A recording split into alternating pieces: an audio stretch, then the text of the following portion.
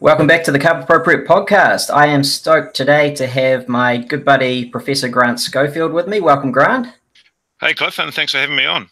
My pleasure. Hey, so uh, we met quite a few years ago now, but um, really it was a, as a result of I had recently come back from Canada.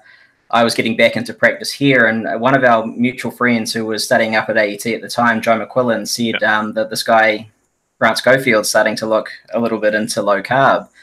And so, uh, do you want to come up and we'll have a chat? And I think you, you, called it the Metabolic Efficiency Group. We got together with a bunch of other people and started fleshing out ideas um, for research. And obviously, before that, I had known you mainly for your work in movement and the sort of psychology of getting kids active. Um, I, I, think it's a really interesting genesis story for you of how you came to be doing what you're doing now. So, how did that all come about from your background in psychology and sports physiology and movement into being really one of the, the key pundits for the low carb movement? Oh, yeah, it's an interesting story, and it goes well back beyond there. And you were involved peripherally as well.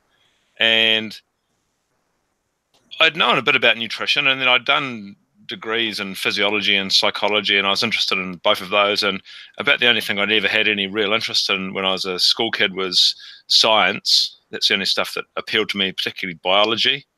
I was interested in that, and I'd known of the nutrition guidelines, and I'd studied those in various aspects, and just sort of gone, oh yeah, hadn't made much connection with reality, and I just carried on, and I'd ended up because of my interest in sport and athletics through my life, uh, sort of coinciding with that outbreak of the realization in the mid 90s that the US Surgeon General had finally published a report going, look, you know, uh, being physically fit and moving around is good for you. That spurred a whole academic industry, I guess, if you'd like, but sort of the more robust, supported investigation of that. So I'd spent from the sort of mid 90s through to about 2010, uh, at least, as that being the main focus of my career, is about how to be active, uh, particularly the public health aspects of that, and particularly interested in children and and young people, and the, the uh, you know sort of often your academic career follows the life stages you're in. I had started to get young children and understand the the world that those kids were building, being born into was one where they didn't move much, and actually compared to now, that's actually a high. At least we just had video players then, but we don't have devices and all that sort of stuff. Yeah. Uh, so, so that was really the thing, and I'd I'd known about nutrition. I'd been interested in sports nutrition, particularly because I'd been an, an uh, endurance athlete my whole life, and I just bought the whole Gatorade gel, low fat, high carb thing hand over fist. And it should have occurred to me more than that that something different was going on because I'd met the at one Hawaii Ironman. I'd actually ended up breaking my collarbone in a cycling accident just before it, and so I turned up anyway, and I actually ended up doing the race it had sort of healed just in time, but I was obviously unfit. So I sat in the pro briefing next to a man, Mark Allen, and a woman, Paula Newby Fraser, that's both sort of seven or eight time champions, and asked them about their diet because I was just like, I might as well learn something while I'm here. And they told me what's sort of low carbohydrate approach. We have a lot of fat. We encourage fat burning. We use nutritional ketosis, the whole box and dice. And I just gone, what a load of nonsense. So I ignored that. And then I had actually heard of, of you before you departed overseas and this guy in you know, Cliff Harvey was doing low carb and ketogenic diets, and we're like, oh, oh yeah, oh, yeah, geez, oh, okay, there's still a lunatic fringe. There's definitely still a lunatic fringe in the world. Imagine that. so I had known about you actually, and then through Joe, I'd known he'd known you, and you know, we sort of generally laughed at uh, uh, what you were doing, and you know, that's just shameful in hindsight because. I, I, got interested in this around 2012 and then started just to unpack all the evidence around that sort of Tim Noakes coming yeah. out era, and yeah, that world just exploded. And then I naively sort of thought this would be the gentle world of physical activity and exercise research, where everyone got along and did stuff. And uh, it's just been a whole nother world, a, a sort of battlefield of academics and medical professionals, the food industry, pharmaceuticals, and all those the conflicts of interest and the dissonance that come along with that. So yeah, and then uh, eventually met you, and we, as you say, we got into that group, and then uh, you've come along and contributed even more to our group with the, your trials and uh, other work, and the the general discussion that is necessary to keep moving for, food forward. Yeah, well, it was it was interesting for me because, as you know, I was moving much more down the mind body path, and I was actually starting my my masters in mind body healthcare at AUT. Right. Yeah. Um, but it was really nice to have a group of people who were coming on board, and I, I, had some collaborators then to sort of fight back against some of these silly things that were happening in nutrition. So, um, as you can remember, I was pretty excited about the whole thing, and probably a little bit too excitable at times. Um, but what was really the the aha moment for you? Because uh, obviously you started to see the writing on the wall, but what really changed your perspective on nutrition? Well, I think there was three things, but there was one big moment. First of all, I've been doing a lot of work in the remote Pacific with non-communicable disease for the World Health Organization, and you walk around with these ridiculous guidelines that you were supposed to be preaching. You can only imagine. And of course, you'll go to it was such profound differences in the metabolic health of people in the Pacific. The people living in the traditional manner, where they've really got very little contact with the outside world. You know, southern Vanuatu is probably the best exemplifies that. These uh, extraordinary good health, and not only that, you'll see people really living that Mark Sisson description of living long and dropping dead. So it's really an idiopathic yeah. death over a couple of weeks that's celebrated, and otherwise a healthy full life.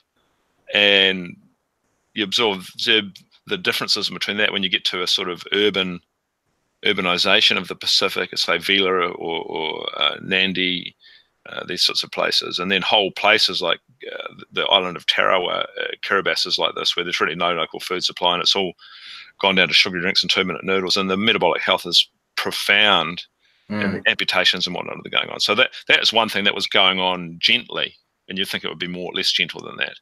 Uh, but really, it was just when we started doing work in, in, metabolic flexibility with athletes and then people with type 2 diabetes, just measuring.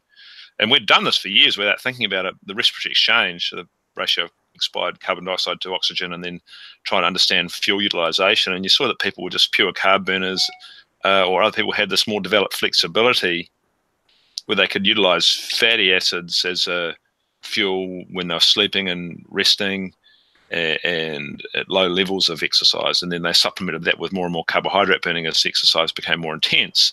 Yeah, and that's when it really occurred to me. And I think also at the same time we had the Tim Noakes coming out stuff, and uh, he, he, certainly has been a hero of mine. I think uh, someone who I regarded as smart for my whole life, and then to change his mind, I challenged Caryn Zinn, who had finished her doctoral studies with me in nutrition in a more conventional way, I should say. Uh, uh, about this, and we both went away, and then a lot of work in insulinemia with us, and it just the world just came crashing in. And I, I don't mean in a negative way; it was very exciting, um, but then then the political and sort of social ramifications of that uh, came home to roost, and it's been a, a massive fight ever since. Yeah, it's it's funny even the terminology that we use. You know, Tim Noakes coming out. You know, like that. It's it's it's pretty crazy to think that by positing something a little bit different to the accepted norm, but pursuing it through the scientific method, you're you're yep. basically outed as being a heretic. But that's the scientific method in a nutshell, right? As you develop a hypothesis and you explore it. Exactly, and uh, Dr. Simon Thornley, who we both know well, um, as a colleague, and he's been involved in, in the doctoral work that you've been doing as well. I mean, he's very strong on that, the idea of science and and what evidence says and where you, it you, where it takes you, and yeah, that is the scientific method that you you develop hypotheses and you're skeptical about knowledge, and then you could either move the body of knowledge in a, one direction or another. Uh, either way, either outcome, the, the knowledge moves. You're either more certain about this or you're less certain about this.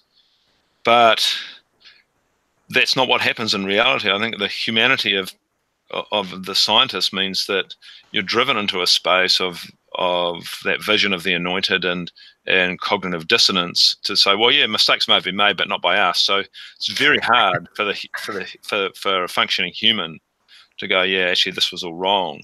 And I think we're seeing that more and more. Not the least has been, and we've got to watch both you and I that we don't end up those people. I mean, gosh, we we we so don't want to be. But yeah. you know what? We're humans. Uh, yeah. And that's probably the biggest fear I have in my research and public health career is that we become those that we've most criticized. not open to change because again, the knowledge will change in our lifetimes for sure.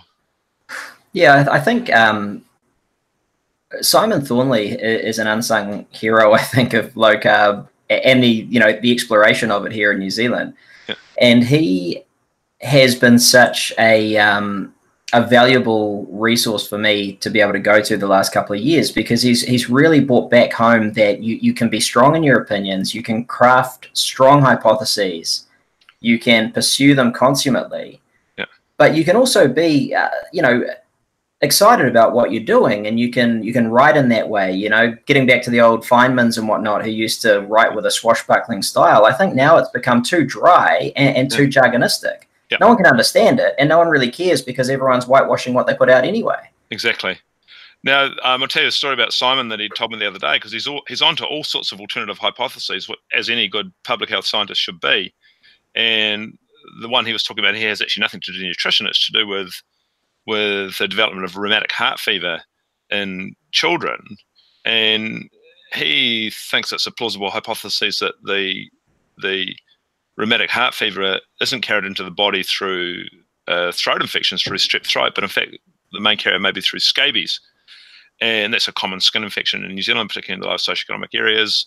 So he's interested in investigating this. He's got a whole bunch of background research, but the story I'm going to tell you now, I think, tells a, a big story that's that's relevant to nutrition and expertise. So they he goes out to a South Auckland school. He takes a couple of public health nurses with him. They've got some training in identifying scabies and skin infections uh, roughly a quarter of the kids have a, a permanent or long-term skin condition, uh, which is a lot of kids in a school. Really, I think that's pretty high, but typical of the lower socioeconomic Auckland. And between the three of them, they do some different diagnosis, and they reckon about half of that quarter have scabies, and that responds well to a topical treatment. Uh, you don't want to give them a topical treatment of uh, of corticosteroids that you'd give something like like uh, eczema because it actually makes it worse. Exactly. So well, we better better check on this. So they get an an expert. They get a dermatologist.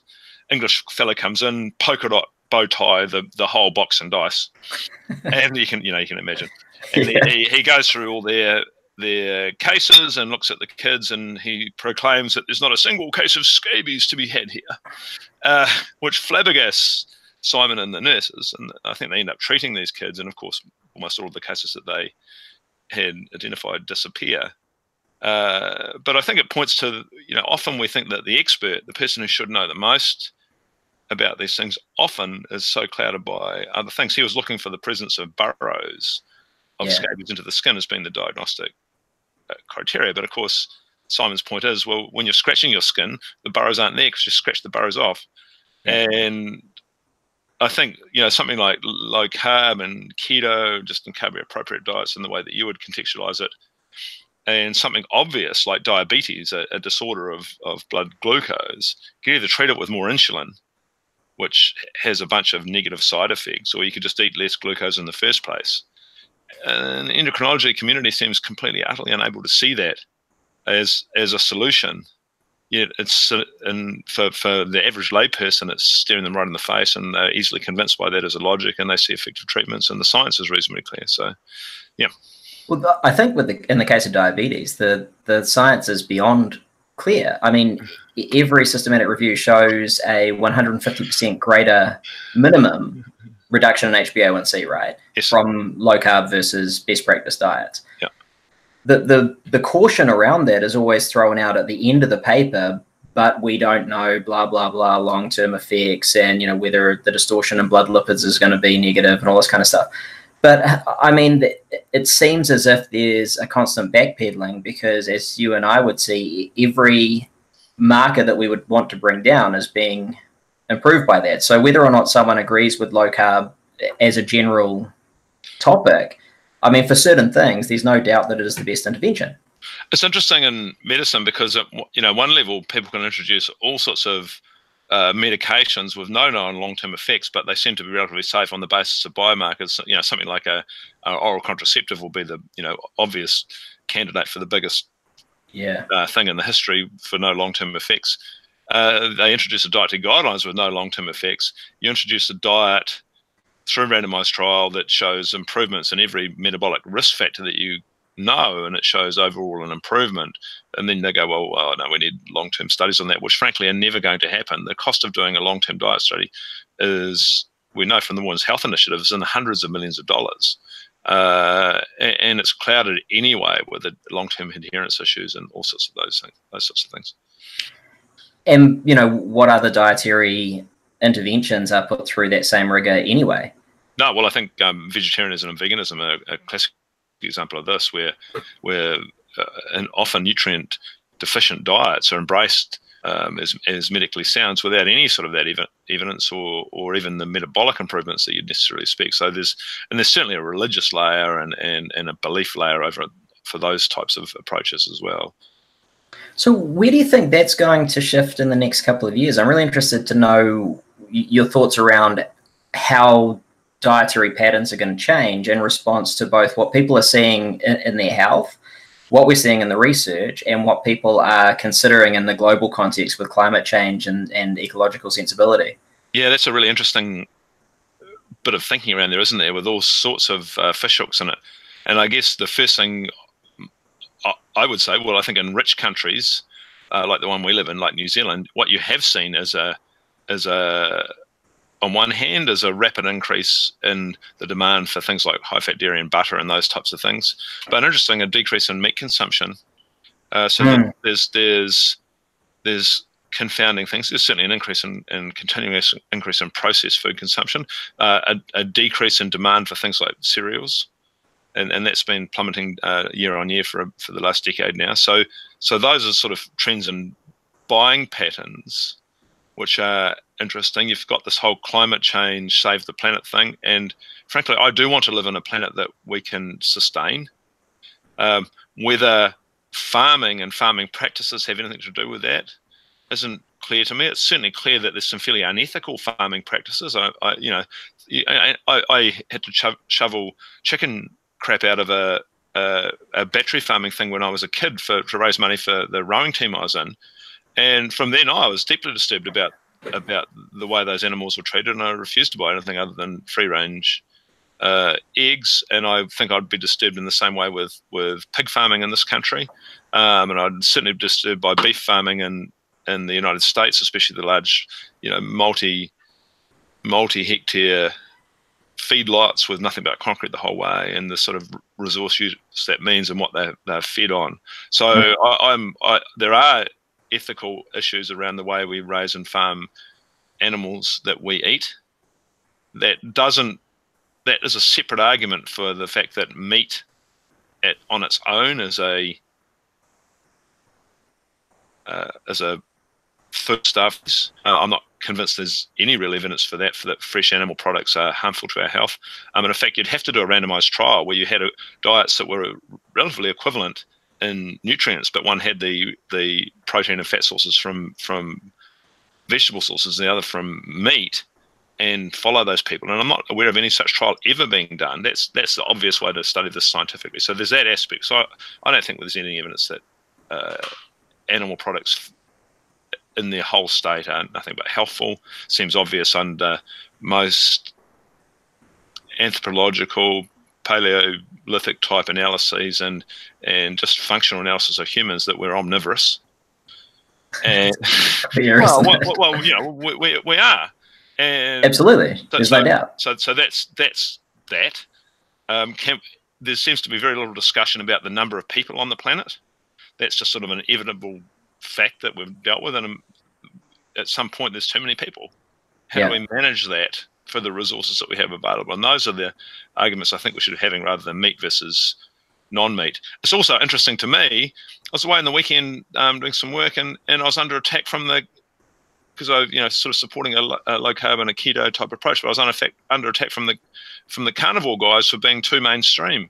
So you know, like, you know getting at both sides.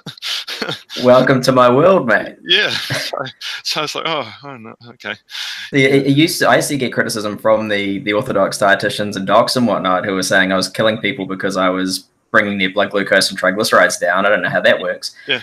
But um, now it's yeah, the the real keto zealots and particularly the carnivore people saying, you know, how can you entertain that some people might do well on carbohydrate? Um, yeah, but yeah, but I mean that that speaks to the carb appropriate idea that I'm a big fan of, obviously. Yeah. What do you think about that? What do you think about the, the carb spectrum? Oh, absolutely, I agree, and I think there's a group of people that, I mean, obviously we vary in how insulin resistant we are. So the exact same meal for different people provokes an entirely different metabolic response, and it's the metabolic response and hormonally and and neurally, and then just even through the glucose in the blood and those sorts of things that is crucial to your health.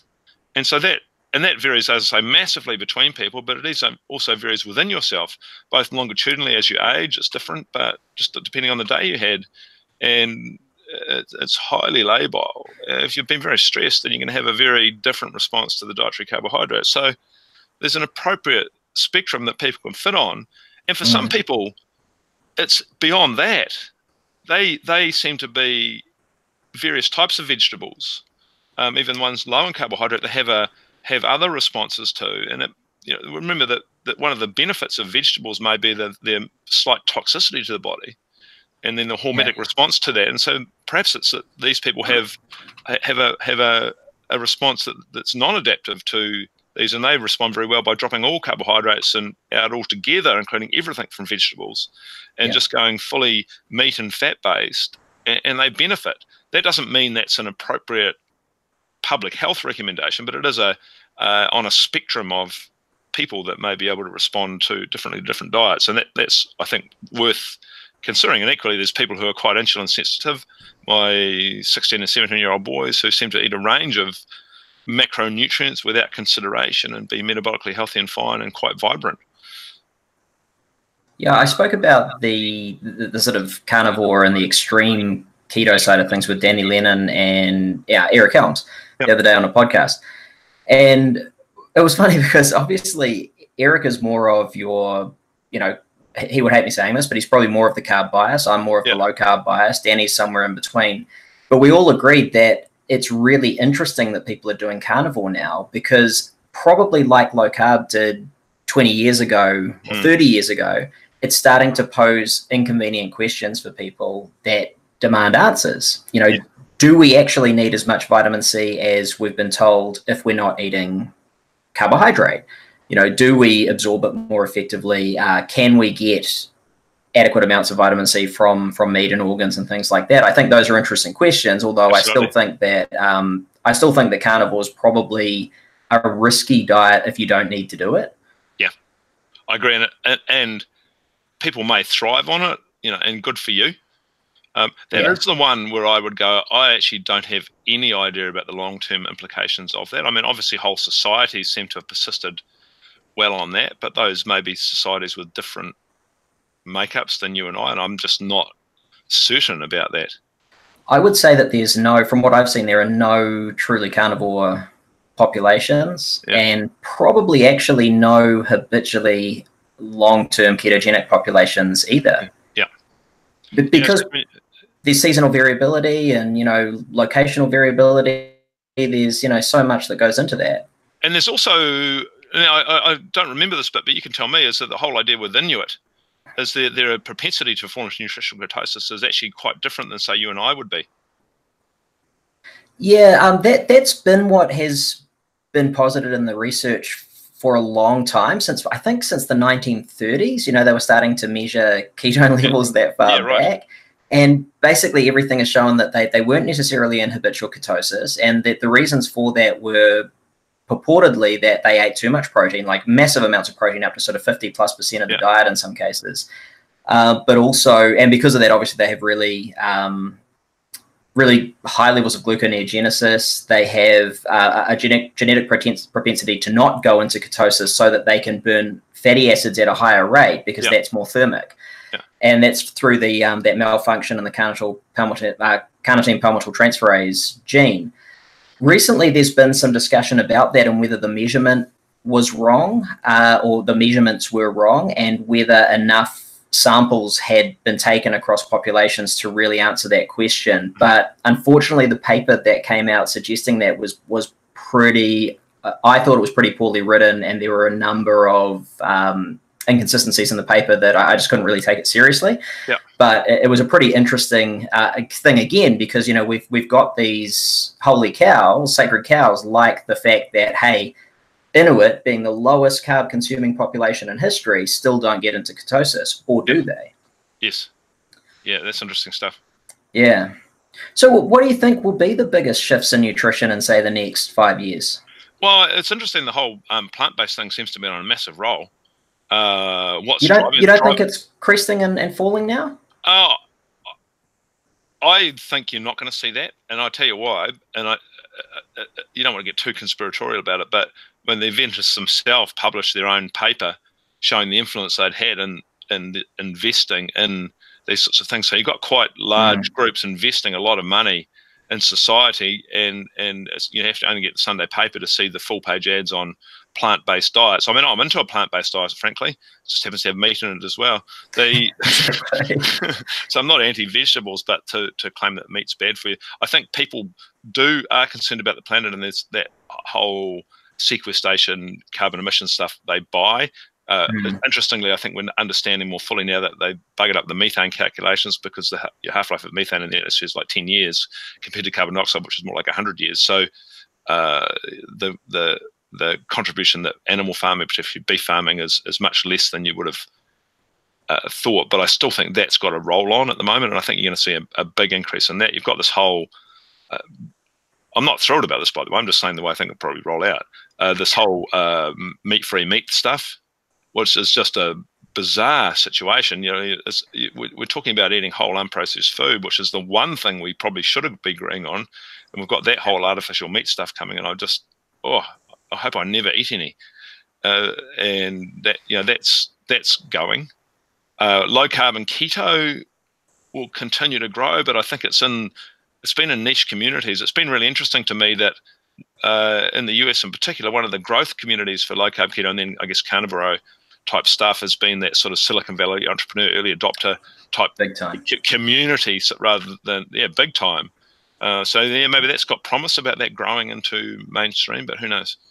Well, keto, as far as I've seen in the last year, it's been because I've been tracking the Google Analytics and stuff. It's it's definitely the the biggest trending thing in nutrition. It's not the biggest yet because plant based kills everything else, right? Yeah, yeah. Um, but it's it's well overtaken paleo now, which was obviously five years ago probably the biggest trending movement. Yeah. And so it's pretty interesting that you've got almost these two dichotomous movements that are growing quickly, and obviously mm. plant based is is you know the predominant one. But I really wonder about the the, ecological ramifications of diet because I think we, we're at risk of falling into what happened in the 60s and 70s through the formulation of these dietary guidelines, where we're rushing, based on what we see as being this big problem that's looming, rushing into solutions that aren't based on strong enough evidence. Yeah, yeah, that's right. And it's it's easy to do that. It's like we need urgent solutions. The the planet is is warming up. There's all these ramifications. Yeah, let's just do this. We don't actually know if it's works. You know what I'm the most scared about, Cliff? I actually think that at some point in the next century, someone's just going to go, well, bugger, this will just let off a bunch of, uh, I don't know, whatever thing they work out, silver balloons or something into the atmosphere and and um, we'll make the planet a bit darker and it'll cool down, you know, something ridiculous like that. Um, and I, I yeah. think that's actually poss- not only possible, but likely. And, you know, then we're interfering with stuff that we have no idea with. And where has that ever worked out well in the it, past? It, know? it never has. and I used to be really skeptic against the climate change deniers, but actually, what you're seeing in climate change is a widespread. Oh, the consensus is this. You know, the majority of scientists says that, and it, there is no argument that I'm aware of ever where science is taken the, the, there's a democracy of science and you have a vote and the people who have with the most votes win. It's not like that. It's based on data and outcomes, and that's the only thing it should be based on. Now, I do buy the idea there's more carbon dioxide and methane, and, and those are likely to be human made. Yeah. Uh, so I'm not denying that, but I, or, or I'm, I'm no climate change denier, but I think the the argument is the majority of people think this is being ridiculous.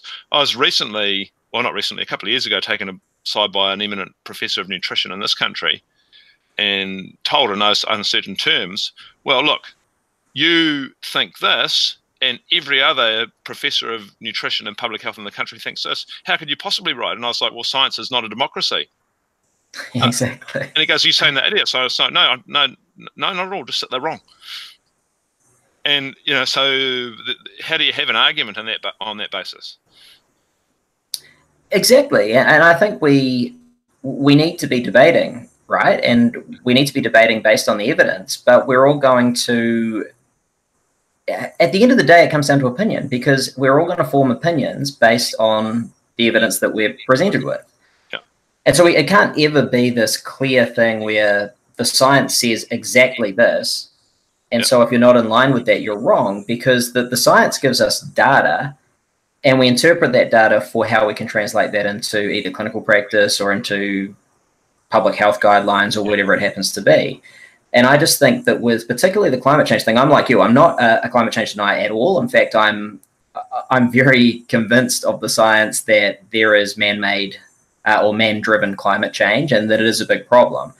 I just think that a lot of the models we have, particularly with food production, that are being used to justify solutions, are very immature at this stage, and we need to do a lot more research to see what what, what is actually appropriate. Agreed. Absolutely agreed. I also, I don't know if you saw it, but I did a little uh, analysis, and whether it, I, I, got it 100% correct or not, I'm not sure. But I, I pulled a whole bunch of data from, um, you know, cattle associations in the states and yep. grain producing associations and all sorts of things and did some calculations on the sentient lives lost oh, from oh, yeah, soy versus yeah, yeah, beef. And you basically you kill more animals eating soy. Yeah. Um, probably also eventually yourself but that's probably a de- debate for another day. Yeah i saw that. That's a really interesting um, point and it just makes the, the trouble with these arguments is it's very there's very much uh, beliefs precede evidence, and then evidence is brought in to back up the belief, and that's uh, you know how, how most things in society roll, unfortunately. Yeah. So getting back to the, the real nitty gritty of nutrition, we, we've done a bunch of research over the last couple of years. Um, you've obviously been my PhD supervisor and supported me through that process. We've looked at a range of different things, and, and particularly the different outcomes from say non-keto, more moderate low carb diets versus yeah. true low carb versus keto. Based on that, what what are your what are your impressions now based on that research? For example, do you think keto is necessary or not? Well, I think there's a few things. One at this one at a time that I think about your research that's um, been interesting to me. The first is this sort of whole keto flu, keto induction thing. I think in general, actually the effects don't last that long and aren't that severe, and that's yeah. good to document that. And I, you'd agree with that, right? Absolutely. Yeah. And I think most interestingly, out of that last study, which um, we're about to publish the paper showing this, uh, the, the strongest association was with energy restriction, not with carb restriction. Yes.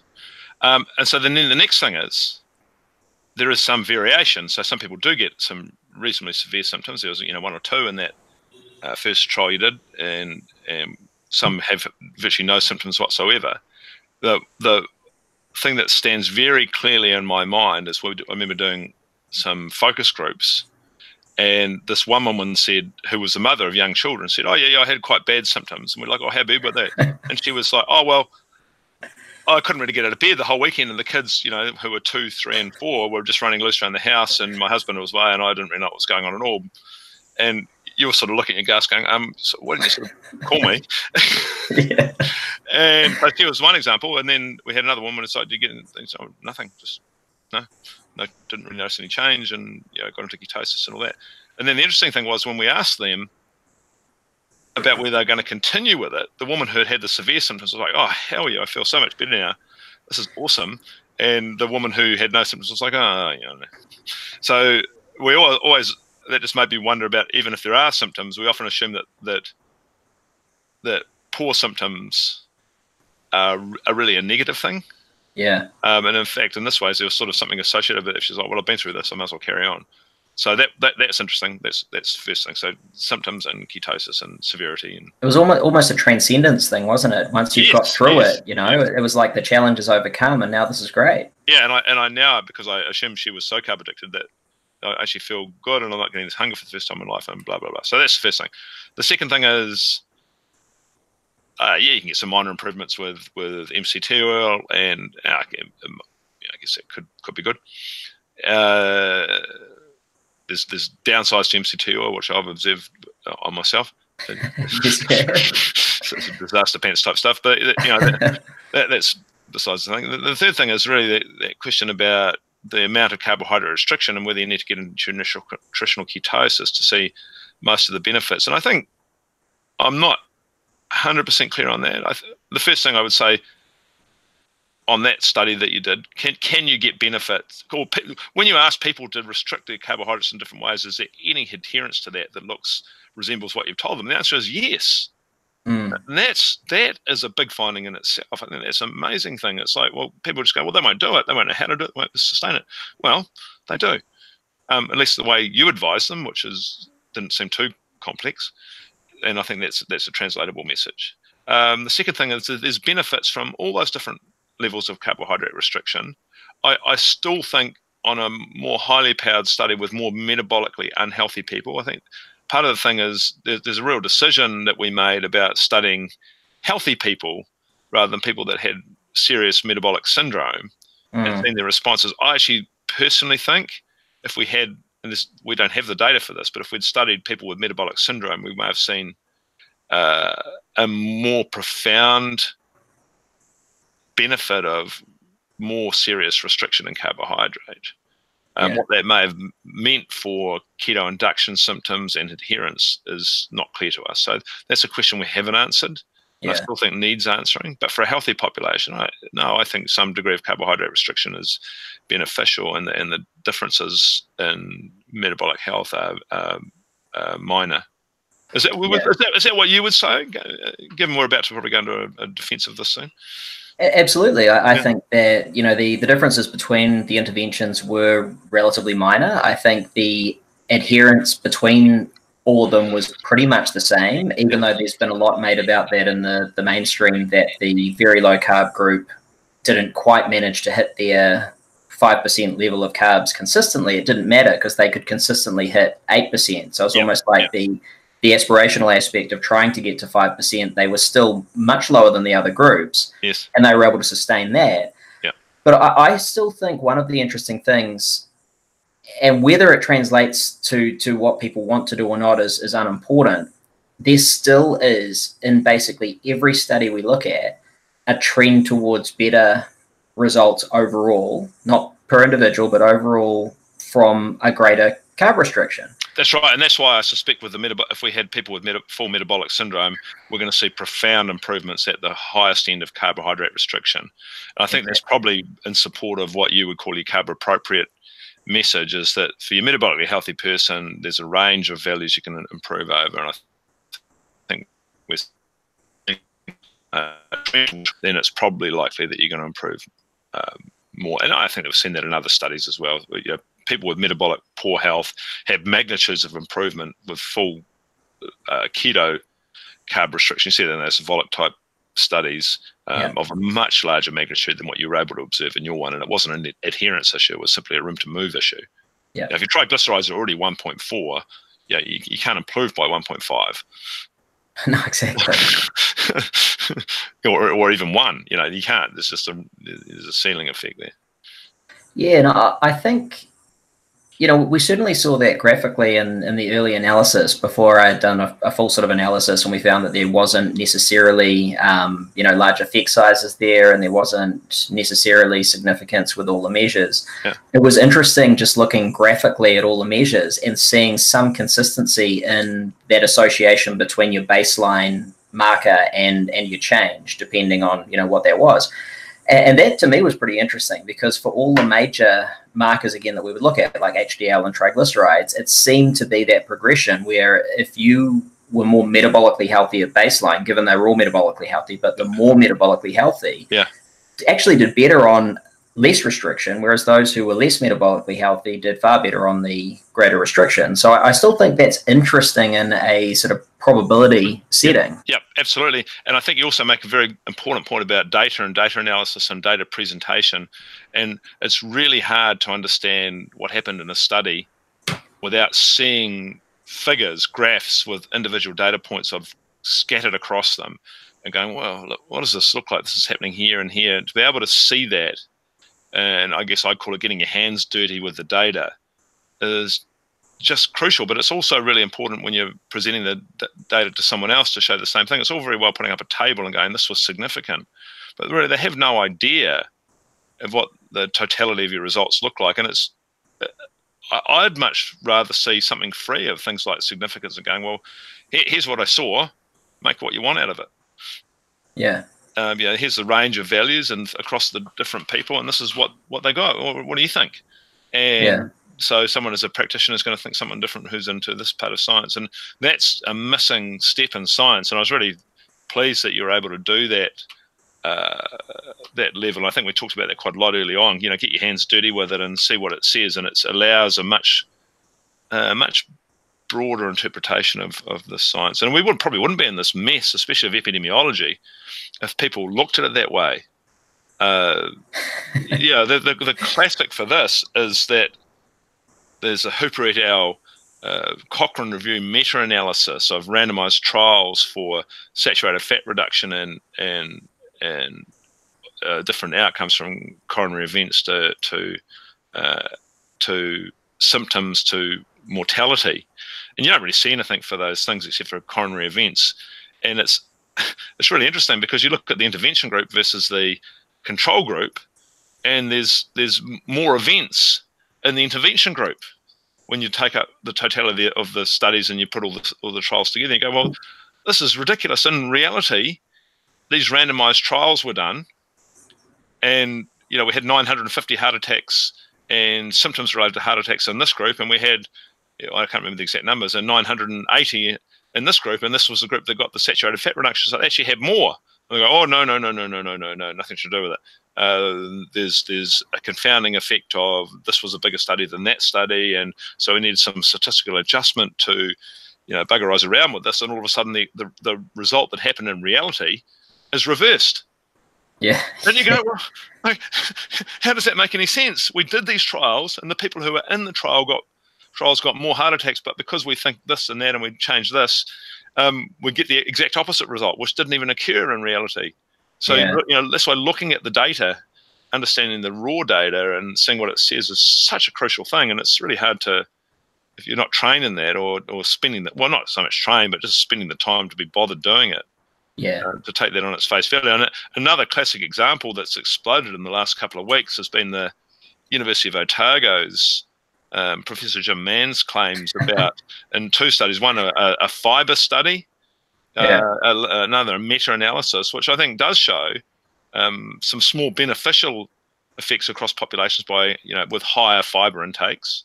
Mm-hmm. Um, for whole grains and the grains from fiber, there's only uh, um, weak evidence, so you wouldn't, on that basis, be any form of public health recommendation. Mann goes on to say that this is clear evidence that low carbohydrate diets, uh, this is really the death knell for them because you can't get enough fiber from them. And this study has nothing to do with low carbohydrate diets. And um, not only that, is that Caryn Zinn's published quite good papers showing the fiber adequacy, if you believe that's even useful, for well formulated low carbohydrate diets. Aseem Malhotra goes in front of the English Parliament uh, and raises this, and just I think this is people underestimate this event. This is probably the biggest naming and shaming in the history of public health nutrition. We're in front of the U UK Parliament, live streamed, and then all now Harry Rowland he he publicly ridicules Mann and puts up um, Zinn's research to refute that. So yeah, that's been going on. And then the following week,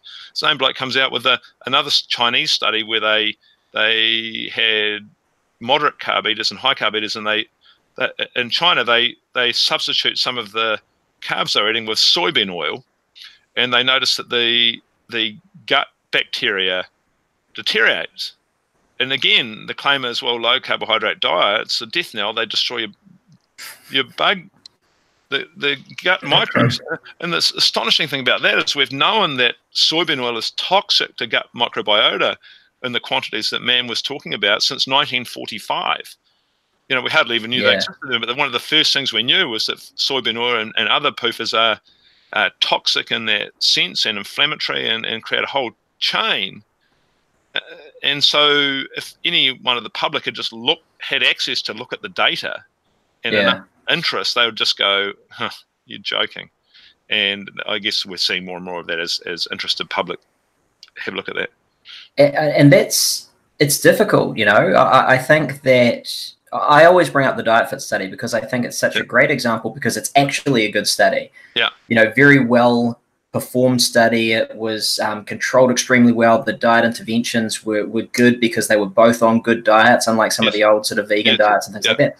But at the end of the day, you're comparing two healthy diets with one with a fairly modest restriction in carbohydrate, and yeah. yet the conclusion being that well, there's no difference between them after 12 months. There was a difference between them. Yeah. Because in basically every category, the low carb group got better results, mm-hmm. although it wasn't significant, except it was pretty close to significance for BMI, and it was definitely significant for improvements in HDL and triglycerides. So yeah. I would be looking at, well, for future health risk, if you can adhere to both equally well, go lower yeah. carb. Yeah, absolutely. Well, I, and I think the lower carb thing's becoming obvious now. If you if you if you understand your basic physiology around glycemia and hyperinsulinemia and the metabolic effects of high glucose and insulin, then it just makes total logical sense, and it's borne out with the trial data that that what we're going to see is, in fact, um, improved metabolic health by reducing the the the amount of times your blood glucose is up high or, or is just high, um, and same for insulin. I mean, why would you expect anything different than that? Exactly. Yeah. So we've talked carbs. I've been fairly big through the years on high protein diets as well. And I think that got left out in the cold a little bit as keto mm. rose to prominence. Where are you with higher protein diets? Yeah, it's interesting. I, and I've been thinking about revising some of the stuff I've written and what the fact, because I now think it's wrong. Uh, and I think it'd be wrong for specific populations. So I really never mention any of the sort of protein leverage work that I think I need to revisit. And I mm. think particularly that it may be particularly some of the indigenous populations who have, who have persisted on much higher protein um, diets do very well by leveraging protein and using that as a satiating factor. And we need to understand that more. And I think yeah. I wrongly wrote in what the fat uh, in, in a sort of simplistic way about, you know, because we observe that often when you start to eat extra protein, on a ketogenic diet, you knock yourself out of nutritional ketosis. And I just assume, well, the only possible mechanism for that is a gluconeogenesis, and you're just pumping more glucose out. And I yeah. no longer believe that's totally the case as well. I don't even understand that full mechanism. And I need to do better there. Probably need to talk to you about it more, but I do need to revise both of that, those uh, things. I think what I would now say about low carb healthy fat is it's an adequate protein diet at the minimum. So you want to be getting adequate protein. Like it's not a low protein diet. So adequate, and how does that? What does adequate mean? Well, it's a sort of circular argument that well, you, you may need more if you've got these needs or that needs. Um, do you do worse if you somehow leverage a bit more protein in and do that? No, probably probably not, and that may be different for other people. And, and so we need to we could probably start to consider some of the uh, protein appropriateness, and I'm not sure exactly how that would work. Uh, what, what's your thoughts on that? Well, I, I agree. I think that for, for me, protein is probably the most important thing to set for a client first. Yeah. So I do that based on their desired outcomes, not on the you know desire to sort of mitigate gluconeogenesis and things. Because if it's based on their desired outcomes, it's going to be appropriate based on the research as to what's most effective. Yeah. And because gluconeogenesis is demand driven, not supply driven. Yeah it should actually fit in with their calorific quotient, and mm. there should be enough fuel providing macro either from fat or, or carbs or some combination of both yeah. to, to basically provide for that. Yeah. I, I, also think that we freak out way too much because you mentioned it about the about getting kicked out of ketosis. Yeah. Because I know from experience that if, if I'm in ketosis, let's say I'm sitting consistently over one millimole, yeah. even if I have a big low protein, high fat meal and test myself immediately afterwards, I'll often be out of ketosis anyway. Yeah. For whatever reason, probably just the the amount of insulin that I produce in response to just just protein alone. You know, that yeah. initial insulin hit. Yeah, yeah. yeah. Stops your ketosis, but uh, you, you get back in pretty quickly. So I think people forget that we, it, again, ketosis and ketones, like carbs, is a spectrum. Absolutely. On off switch. Yeah. I mean, like honestly, being well fed adapted and in nutritional ketosis, and I know we've talked about this. I can go utterly off the reservation, you know, like beers, chips, the whole thing, and be back in nutritional ketosis the next day with a little bit of fasting. Exactly, it was my yeah. cornflake experiment that. Um, well, that's right. How's that going? And, you still eating cornflakes? not anymore. No, I'm actually on an anti-inflammatory diet at the moment, which is working really well. But um, that was a sort of experiment that I did for a while, as you know, and a, a buddy of mine from the UCAN company, because I do a bit with UCAN. They sent he sent the my results through to Steve Phinney and Jeff Volek, and they said, "No, that can't happen." well, the only thing I didn't like about the cornflakes was this whole Adventist connection with with uh, John Harvey Kellogg and the masturbation theory and all that sort of stuff. So yeah, exactly. yeah that's, that's, a story for another day. Not a big fan of, of that stuff, and no. it certainly doesn't fit with an anti-inflammatory diet. But no. I, I think it is interesting that now, you know, the, the work that's being done with the Gonzo self experimenters out in the field, um, yep. you know, your, your Paul Cadmans, your Dan Plews, yourself, me, you know, all these weird yep. people doing weird things.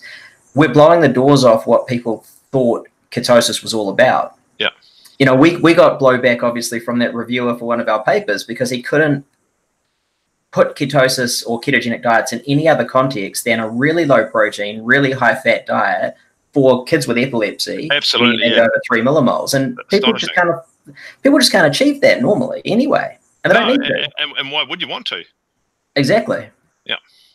Exactly, and particularly now when we've got, if you did want higher ketones, we've got cool things like MCTs and whatnot.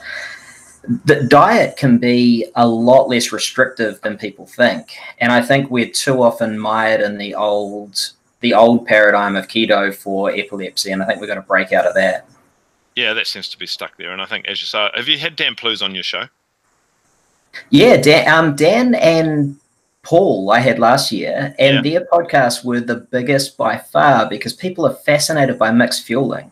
Yeah, so you know, I've just been working with Dan quite closely, and uh, with this sort of stuff. And then I've been training. I just trained an athlete to do the Ironman New Zealand last weekend. It did really well, fat adapter, but it's that mixed fuel use. And you'd be surprised how many carbs we actually use. First of all on the day, but then particular training sessions. Like it's, it's actually you know the keto people would just be going holy. But I mean, I have um, this guy Matt. I'd have him do these sessions with a reasonable amount of intensity, a lot of carbs out. We might add oh, I don't know, 200 grams of carbs in this session. At the end of it, he's still in nutritional ketosis.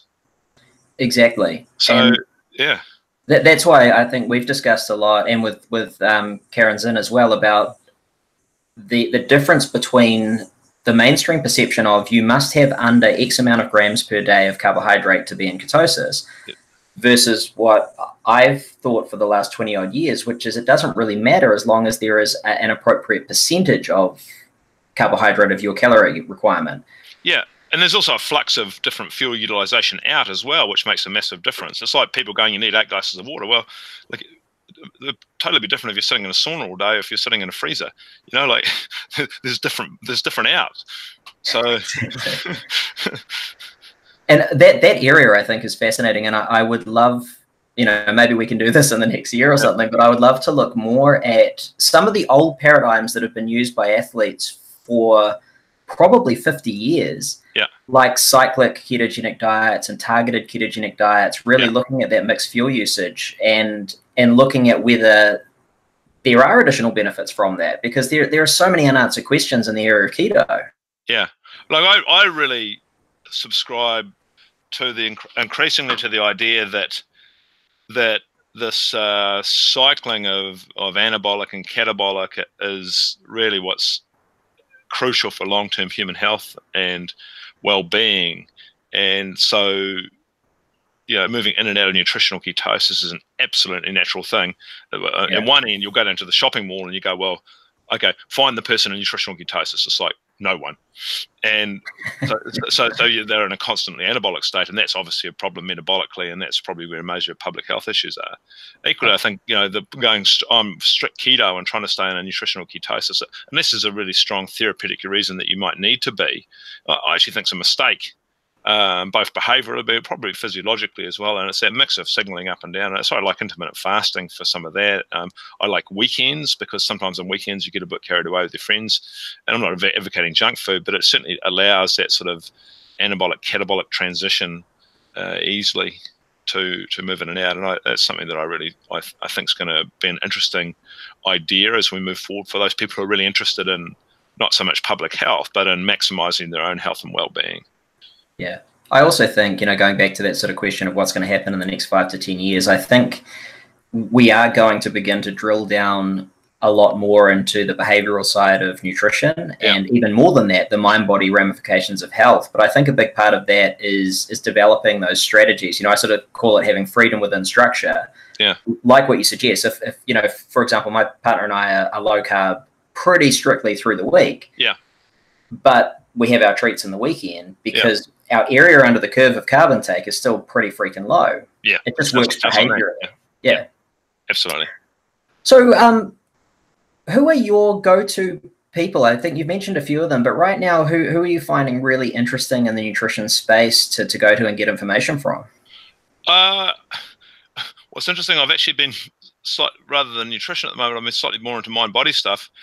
In the you and I swap back and forward, eh? Yeah, yeah. No, I've been really well, well. It depends on what time frame you're over. So my normal go-tos are your um, Voleks, your Phinneys, and those um, types of guys. I started listening to Peter Attia a bit, but then he actually got too much for me because I actually think he was a he's just getting too bloody arrogant, and it pissed me off in a Tim Ferriss sort of way because I also found quite quite interesting. So it's a little bit like talkback radio. You can only take too much of it. Um, yeah. And more recently, I've actually just started to be doing a lot of Sam Harris and and the sort of waking up type um, meditation stuff. I've been really interested in mainly through a special forces soldier that I was working with with um, nasal breathing and nitric oxide and those uh, pathways. Um, those obviously have implications for insulin resistance, vasodilation, and and those sorts of things. I still think the mind body. Interestingly, I think the mind body stuff is uh, oh, sleep and its role and how nutrition interacts with that. Um, the, the, the use of carbs for better night's sleep. I think that actually does have a role. Uh, and so yeah, I'm actually that's the space I'm most just reading about in my laying around time at the moment and, and that sort of thing. Um, yeah, go to nutrition. I mean, we've still just got our standard trial stuff. There's, as you know, there's a paper, there's a paper a week that needs re- reading and, and rebutting or is interesting, uh, and that could come from anywhere at the moment because there, there's a lot of research going on around the world. What about you? What, are you in the? Were you in the mind body space? Speaking of that, I'm become, especially now coming to the the end of this sort of PhD process. I'm more and more interested in it as I was, you know, before starting this process because I think that it's the next step in, in health. I think it's the next step in medicine. Yeah. And I think we're getting to a point now where it's not enough to set the foundations of health through nutrition and physical exercise and things like that. Yeah. And all the rest, sleep and whatnot. Because if you do all of that, you're still not necessarily living an objectively desirable life. There's got to be something more than that. And that comes from, you know, discovering creativity, passion, and purpose, and those things. And I think the whole spectrum from the foundations of health right up to creativity, passion, and purpose basically rests on how we can have a positive mind body state. Yeah. And so I think there's going to, I think there's exciting things to look at in the research there. And I've got a bunch of ideas that I'll throw by you at some point. But, um, you know, I would love to go on and do a lot more of that research as well as you know keep filling in these gaps in the nutrition research as well. Yeah and they're not sort of separate things. They they quite deeply interact. And I, you know one of the um, amazing things to me is you know, a, a simple uh, quick mindfulness meditation of even you know five or six deep uh, relaxed empty mind belly breaths before you eat a meal and the profoundly different glucose and insulin response you have you know, is, it's astonishing. I mean you can you can have it yeah. By that one behavior. And so when you start to think about metabolic health as just being what you put in your mouth, it's it's it's not not the case.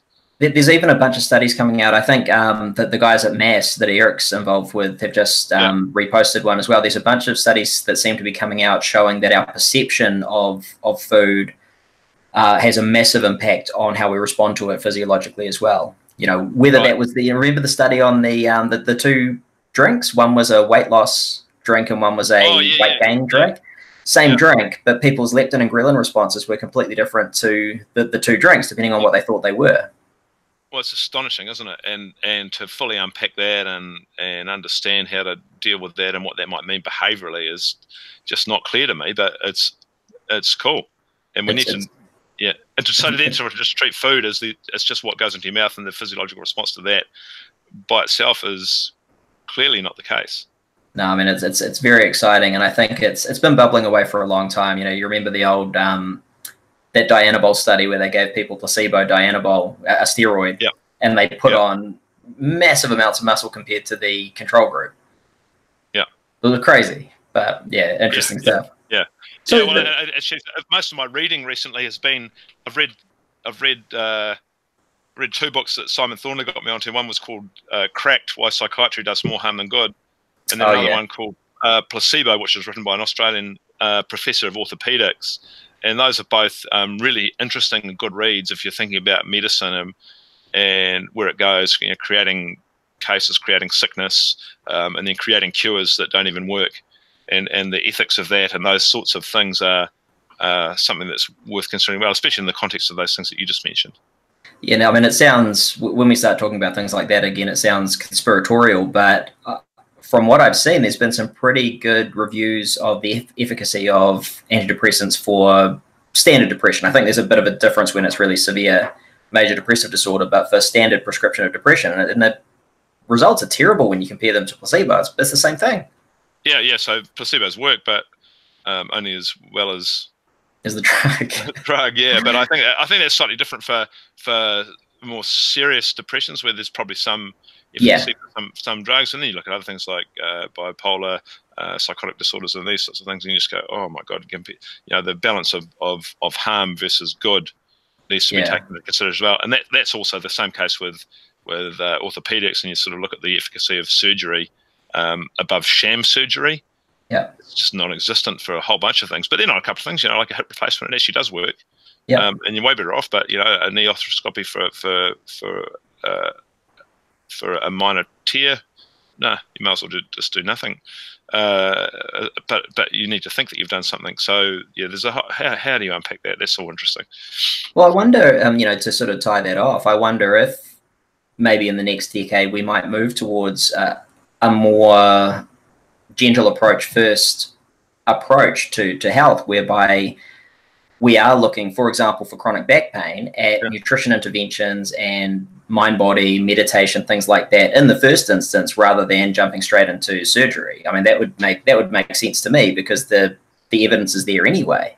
Yeah, it's interesting. But what you're going to need is a, there's a guy Glenn Davies who's a general practitioner down Taupo. I'm working with a he's got a reversing diabetes group. He's got a thousand odd of them on it now. He's really got yeah. There's a there's a Marae and, and uh, Waitahanui, which is 10k down the road towards Turangi, the whole Marae has decided for some reason to go keto. Um, it's extraordinary. But uh, one of the reasons for that is Glenn's just like, okay, I'm. I, in the first instance, I don't. If you want to come to me, I don't do statins, hypertensives, antidepressants. Oh, I'm sorry, I just don't do them. You, are going to have a go at these nutrition and lifestyle interventions first. Otherwise, I'm not your doctor. Find someone else and yeah, that's pretty brave. Uh, and but we need that sort of widespread change in in general practice medicine, that yeah. sort of attitude to start to pervade. And I, I I think that's possible. I think many physicians that I talk to are disillusioned with the work they do, and in yeah. many ways, their life exists outside of their practice. They now do that to get some money, and they'll go mountain biking or hiking or whatever they want to do. And you know that, that that's not they've lost interest in their career, which is such a shame because it was pretty much the smartest guys always went off to med school and they, they didn't stay that way. Yeah. Yeah. Well, I, I, think we're seeing a bit of a groundswell of change.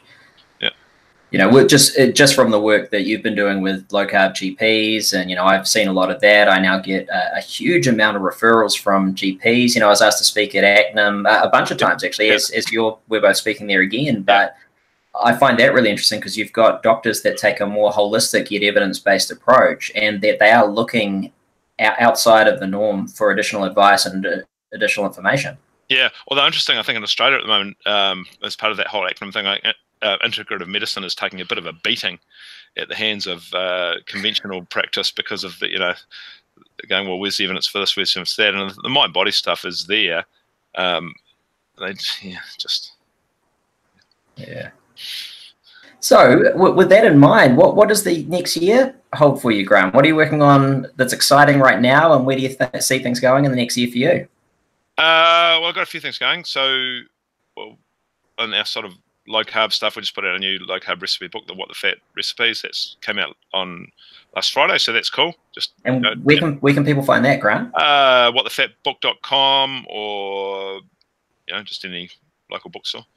And all over the place. You're, yeah, you're all over the place in most countries, so that's all good. Um, the second thing we're in this uh, PreKure, which is a social enterprise. PreKure with a K, prevention. Yep. Prevention is cure. Uh, food is medicine, fitness is medicine, that sort of stuff. Uh, to try and offer easy to digest packages. I think tertiary education has utterly lost its way. So you know, I, I, know I work for a university as well, but the value proposition of tertiary education, I think you're going to find um, is flimsy.